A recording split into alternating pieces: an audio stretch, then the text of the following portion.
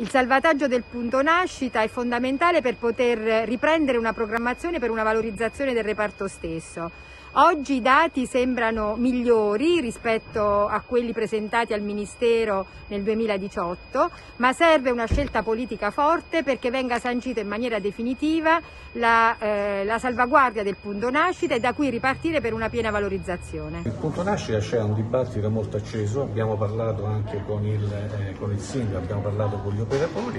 eh, c'è un documento del, del Ministero, è una tematica molto critica, molto particolare che va diciamo, analizzata e studiata sotto vari aspetti e anche l'incontro di oggi con il sindaco degli operatori è finalizzato anche a questo aspetto. Questa è l'unica cosa certa che attualmente abbiamo un atto ministeriale che ci dice che il punto nascita va chiuso perché non rispetta i parametri e ordina addirittura lo smantellamento del punto nascita con la ridefinizione appunto dei percorsi nascita. Dall'altro lato abbiamo invece un intento della Regione a seguito di, del, dell'accettazione di una risoluzione recentissima, però di fatto manca un atto dichiarativo del fatto che il punto nascita rimanga aperto e soprattutto un atto di programmazione. Non è che possiamo aspettare ancora troppo tempo per avere dalla Regione una programmazione, quindi ad oggi questo punto nascita non sappiamo giuridicamente se sia aperto o chiuso. Con il sindaco e tutti gli operatori ci siamo confrontati